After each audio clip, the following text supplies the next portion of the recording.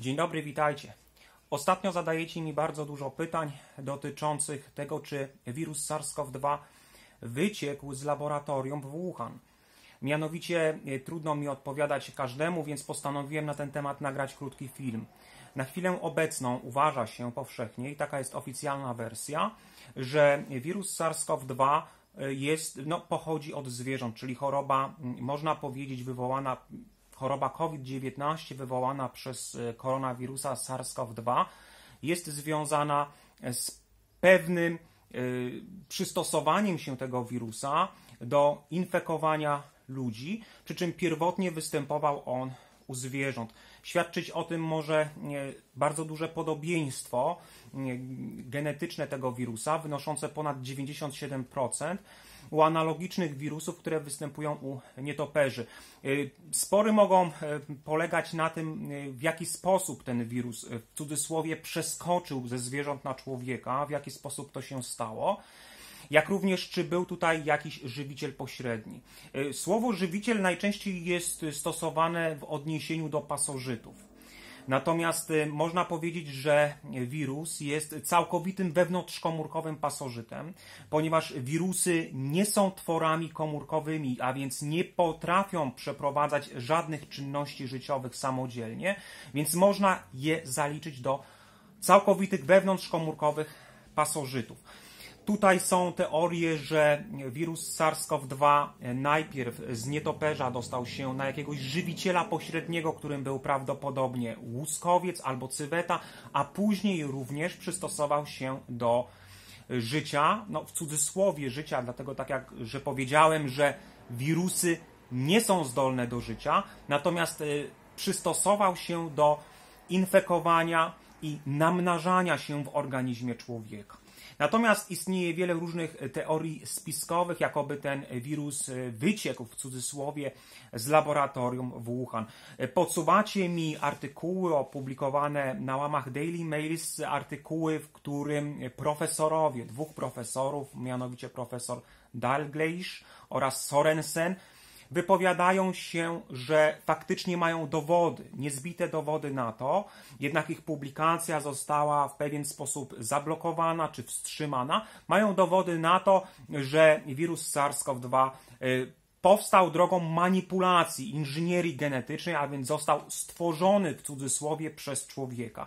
Według nich taka manipulacja miałaby polegać na tym, że w tym wirusie znajdują się cztery dodatnio naładowane, spolaryzowane aminokwasy, jeden za drugim, a więc pod rząd i według profesorów taka sytuacja nie ma miejsca w naturze.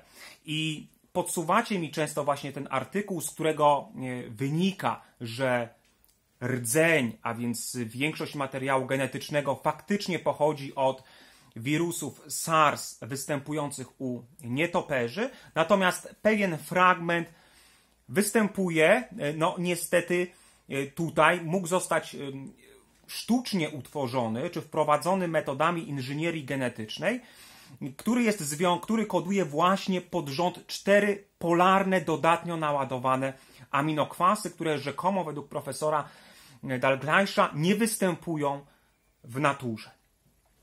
Natomiast, moi drodzy, odnosząc się do tego, bo tak jak powiedziałem, na chwilę obecną to są spekulacje, można powiedzieć e, więcej, jeżeli faktycznie zobaczę tę publikację, ale na dzień dzisiejszy, opierając się wyłącznie na tych informacjach, które zostały przekazane, te wiadomości są niewiarygodne. Dlaczego? Po pierwsze, struktura e, białka kolca, w którym rzekomo miałyby występować e, te fragmenty świadczące o ludzkiej manipulacji, jest znana już od ponad roku. E, poznano całkowitą sekwencję, sekwencję nukleotydów, które kodują białko S, czyli białko kolca.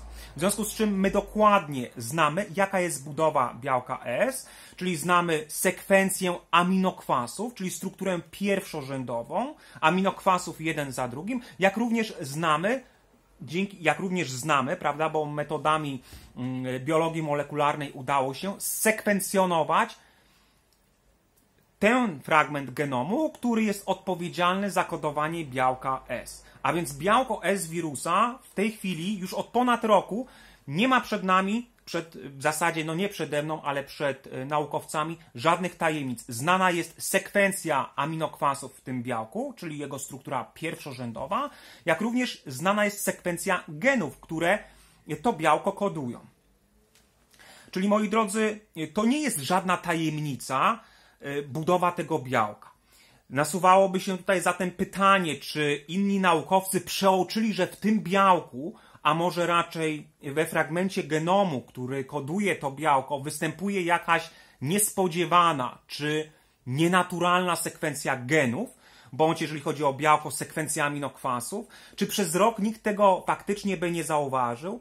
Moi drodzy, odnosząc się tutaj do wypowiedzi profesora Dalgleisza, że występują pod rząd cztery dodatnio naładowane, spolaryzowane aminokwasy, to wiele osób podsuwając mi ten fragment, tak naprawdę nie wie nawet, co to znaczy spolaryzowane aminokwasy czy aminokwasy polarne o dodatnim ładunku. Wyjaśnijmy sobie zatem, że aminokwasy posiadają grupę karboksylową COOH i grupę aminową NH2. Natomiast y, dzięki temu, w zależności od pH, aminokwasy mogą, mogą mieć ładunek dodatni, bo jeżeli mamy grupę NH2, no to w środowisku kwaśnym ona będzie przyłączać proton tworząc NH3+, czyli ten ładunek dodatni na cząsteczce. W środowisku zasadowym mamy z kolei grupę kwasową COH, która będzie reagować z grupą hydroksylową pochodzącą od zasady, tworząc ładunek ujemny CO-, czyli tak na dobrą sprawę w zależności od tego, czy cząsteczka aminokwasu będzie miała wypadkowy ładunek dodatni czy ujemny, to zależy od pH. Możemy tak dobrać pH, że mamy aminokwasy dodat, że mamy aminokwas z dodatnim ładunkiem, dlatego że grupa NH2 przyłączy proton, tworząc grupę NH3+, lub tak podwyższyć pH, tworząc środowisko zasadowe, że mamy cząsteczkę z wypadkowym ładunkiem ujemnym, dlatego że grupa karboksylowa kwasowa przereaguje z grupą hydroksylową tworząc grupę CO-, tak? Ale moi drodzy, tutaj jest sformułowanie polarne, dodatnio naładowane aminokwasy pod rząd. Czyli są spełnione następujące, następujące trzy warunki, które rzekomo nie występują naturalnie. Po pierwsze, mamy aminokwasy polarne. Po drugie, mamy aminokwasy dodatnio naładowane. I po trzecie, występują pod rząd te aminokwasy w liczbie czterech. Czy taka sytuacja nie jest możliwa do zaistnienia w naturze i faktycznie świadczyłaby o jakiejś manipulacji człowieka? Skupmy się. Aminokwasy mogą być polarne lub niepolarne. Cząsteczka jest polarna, na pewno słyszeliście gdzieś na chemii o wiązaniach kowalencyjnych spolaryzowanych, gdy mamy dwa różne atomy o różnej elektroujemności i ten jeden przyciąga elektrony w swoją stronę, gdzie tworzy się wokół niego wypadkowy cząsteczkowy ładunek ujemny, natomiast na tym przeciwległym wypadkowy ładunek cząsteczkowy, wypadkowy ładunek dodatni. Taka cząsteczka staje się dipolem, posiada moment dipolowy. Na pewno wiecie, że woda jest polarna cząsteczka wody i posiada moment dipolowy. W przypadku aminokwasów również może być podobnie, ale jeżeli chodzi o aminokwasy polarne, z tym dodatnim wypadkowym ładunkiem w fizjologicznym pH, to przyjmuje się, że są to trzy aminokwasy. Możecie mi wierzyć na słowo, ale nie musicie, możecie to sprawdzić w książkach do chemii organicznej. Jest to lizyna, histydyna i arginina. Przyjmuje się, że te trzy aminokwasy to są te aminokwasy, o których mówi pan profesor Dalgleish w tym swoim wywodzie, a więc aminokwasy polarne, dodatnio naładowane. W pH, bo tak jak powiedziałem, to zależy od pH, w pH zbliżonym do obojętnego, czy w pH fizjologicznym, takie jakie występuje we krwi. A więc, moi drodzy, już wyjaśniliśmy ten pierwszy problem. Wiemy, które aminokwasy są polarne, naładowane dodatnio. W tym określonym pH to będzie lizyna, histydyna i arginina. I teraz pytanie, czy faktycznie nie ma żadnego białka w naturze, które zawierałoby pod rząd te cztery dodatnio naładowane aminokwasy? Okazuje się, że to wcale nie jest prawda. Na przykład jest takie białko, które nazywa się histatyna 3. Histatyny są to białka, które znajdują się w ślinie, kodowane przez geny HTN, tutaj HTN3 i one pełnią funkcję m.in. bakteriostatyczną, czy w ogóle grzybobójczą. Generalnie biorą, wykazują właściwości przeciwdrobnoustrojowe, wydzielane są w ślinie, bo jak wiecie, ślina również posiada pewne właściwości przeciwdrobnoustrojowe dzięki zawartej w niej enzymom i właśnie na przykład białkom takim jak histatyny. I histatyna trzecia, która znajduje się w ślinie, w ślinie e, składa się, posiada sekwencję e, kolejnych, dodatnio e, kolejnych polarnych aminokwasów, dodatnich, tak? Czyli posiada taką sekwencję lizyna, arginina, histydyna, histydyna.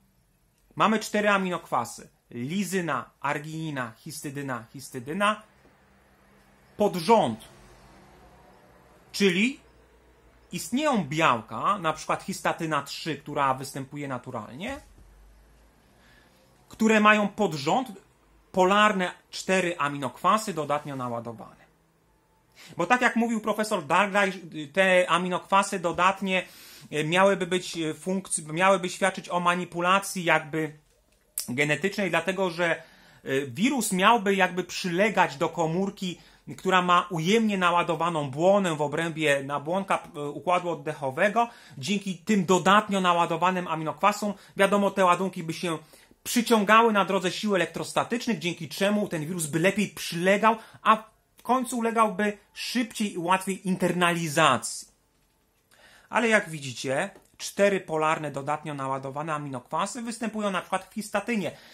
Znalezienie naturalnie występującego białka, które posiada cztery polarne aminokwasy dodatnio naładowane, rzekomo według profesora Dalgleish nie występujące w naturze, zajęło mi 5 minut. I takich białek, moi drodzy, jest więcej, ale więcej po prostu nie szukałem. Szukałem, aż znajdę. Natomiast y, to wszystko, o czym powiedziałem, świadczy o tym, że dopóki nie mamy publikacji, my możemy nadal uważać, że jest to teoria spiskowa. Niepotwierdzona. Bo po pierwsze, powołując się na budowę białka S, którą znamy od roku i ona jest jawna, mamy do niej dostęp. W jednym ze swoich y, filmów załączyłem link do publikacji, gdzie jest cała sekwencja genowa i aminokwasowa białka S podana. Więc to nie jest y, żaden y, jakby żadna tajemnica. I po drugie, stosując jakieś twierdzenia o polarnych, dodatnio naładowanych aminokwasach występujących pod rząd, które miałyby przylegać do ujemnie naładowanej komórki, w związku z tym ułatwiać wirusowi wnikanie, co świadczyłoby o ludzkiej manipulacji, to mnie nie przekonuje, aczkolwiek rozumiem, że dla wielu osób te słowa polarno, dodatnio naładowany aminokwas, który gdzieś tam występuje we fragmencie białka S, brzmi faktycznie bardzo naukowo i na tyle wiarygodnie, że faktycznie miałoby to przesądzać o tym, że wirus powstał wskutek ludzkiej manipulacji. Moi drodzy, na koniec ja nie mówię, że nie powstał, czy powstał tak czy inaczej. Ja odnoszę się do faktów, które zostały przytoczone i zaprezentowane. Na podstawie tej publikacji, czy w zasadzie na podstawie tego wywiadu, mówię, że nie, że tak nie jest, bo taka struktura jest i występuje również naturalnie w białkach, które występują w organizmie człowieka. Moi drodzy, i na koniec słyszałem, że faktycznie pracują nad lekiem na koronawirusa. I ten lek miałby zawierać róg jednorożca, pióro Feniksa i krew osiemnastoletniej dziewicy.